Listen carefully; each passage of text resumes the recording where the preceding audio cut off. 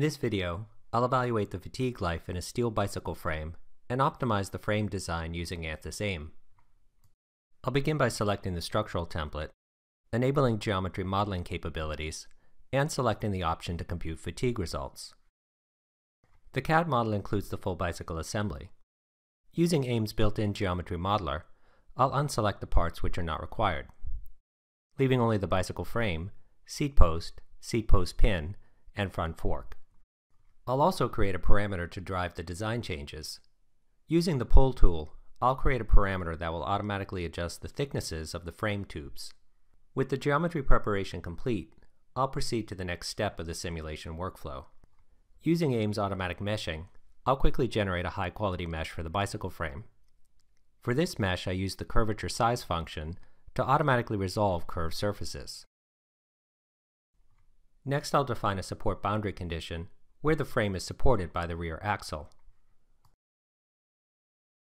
I'll also define a support where the front fork rests on the front axle. The weight of the rider is represented by a force applied to the top of the seat post. Per an industry standard fatigue test, I'll apply a downward force of 1400 newtons. AIM's automatic contact interface generator makes it easy to account for the interactions between the parts of the assembly. AIM automatically detects contact between the frame and the adjacent parts, as indicated by the red color. Next I'll solve the model and review the fatigue results. First I'll review the displacement of the frame. The deformation is automatically exaggerated for display. The results can also be animated to see how the bicycle frame deforms under the applied load.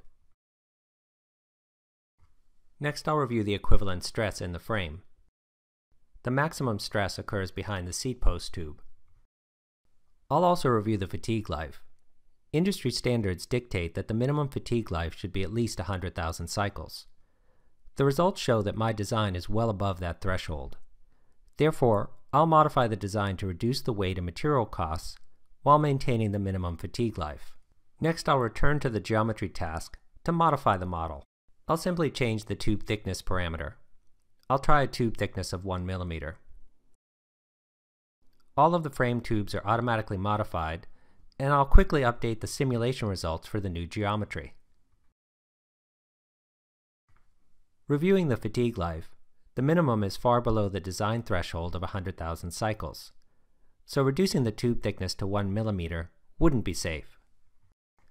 I'll try a more modest reduction in the tube thickness and use 1.6 millimeters. Again, the geometry is easily modified and the results are automatically updated with just a few mouse clicks. The minimum fatigue life is now slightly above the design threshold. I now have an improved design which satisfies the fatigue life with a lighter weight and lower material cost. With ANSYS AIM, evaluating and optimizing product performance is quick and easy. Thank you for watching this demonstration of ANSYS AIM.